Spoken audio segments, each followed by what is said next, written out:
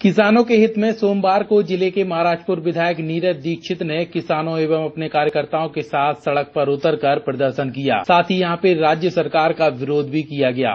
कांग्रेस विधायक नीरज दीक्षित द्वारा यह प्रदर्शन तहसील कार्यालय महाराजपुर में किया गया, जिसमें खाद की समस्या, बिजली कटौती, ट्रांसफार्मर खराब होना जैसी तमाम समस्याओं को लेकर विधायक नीरज दीक्षित द्वारा यह प्रदर्शन किया गया है। विधायक नीरज दीक्षित ने जानकारी देते हुए बताया है कि करीब ऐसे गाँव हैं जहाँ पर बिल्कुल भी बिजली नहीं है, वहाँ पर अगर अतिशीघ्र बिजली नहीं पहुंचाई जाती है और कोई टेम्परेरी व्यवस्था नहीं की जाती है तो यहाँ पे यह प्रदर्शन लगातार जारी रहेगा। साथ ही यहाँ पे विधायक नीरज दीक्षित ने यह भी कहा है कि फ़िलहाल अधिकारियों द्वारा आश्वासन मिला है कि जल्दी इसमें निराकरण कर लिया जाएगा। मगर विधायक का कहना है कि अगर निराकरण शीघ्र नहीं होता है तो चार दिसंबर को नौगांव में विशाल प्रदर्शन किया जाएगा। छतरपुर हलचल के लिए प्रिंस भरभूजा की रिपोर्ट। आज किस संबंध में इधर पे ज्ञापन दिया गया है?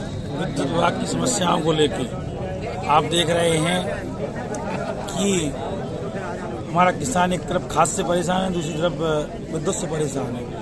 हर गाँव में विद्युत की कटौती बराबर चल रही है। ट्रांसफार्मर खराब पड़े हुए हैं लाइनें खराब डली हुई हैं इसके बाद भी अवैध वसूली की जा रही है।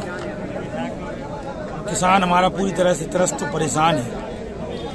उनकी समस्याओं के हल के लिए यहाँ आए उनको उनकी समस्याओं का हल।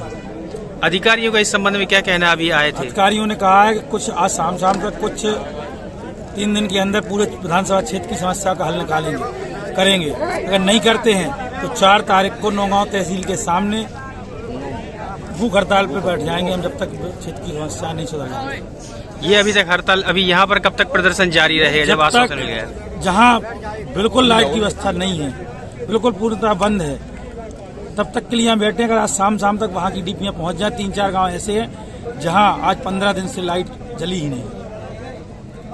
मतलब ये जारी रहेगा जब तक समस्या का समाधान नहीं होता है। संघर्ष संघर्ष करते रहेंगे क्षेत्र की समस्या